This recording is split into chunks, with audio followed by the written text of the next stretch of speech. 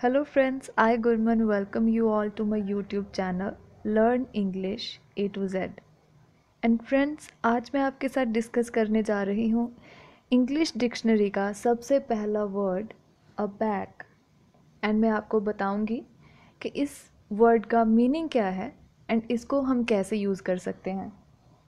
दोस्तों आप a back का मतलब इस वर्ड को देखकर भी समझ सकते हैं। जैसे हमें पता है कि बैक का मतलब होता है पीछे। इसी तरह अ बैक का मतलब भी होता है पीछे या पीछे की ओर, जिसको हम इंग्लिश में बिहाइंड टूवर्ड्स द बैक और एट द बैक भी बोल सकते हैं। तो आइए देखते हैं कि हम इस वर्ड को किसी सेंटेंस में कैसे यूज़ कर सकते हैं। दोस्तों, मैंने यहाँ पे एक सेंटेंस लिया है।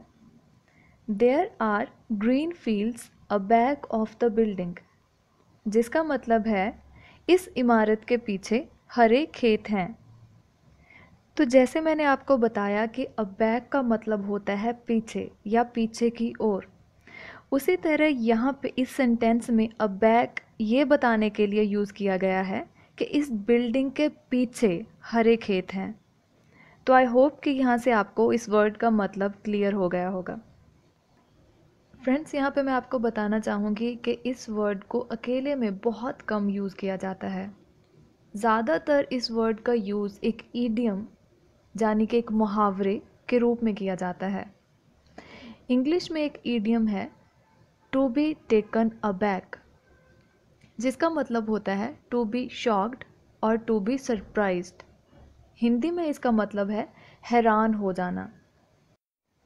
ये देखने के लिए कि इस ईडियम को यूज़ कैसे करते हैं, मैंने यहाँ पे लिए हैं दो सेंटेंस पहला है Sita was taken aback by Ram's behaviour मतलब सीता राम के व्यवहार को देखकर चौंक गई.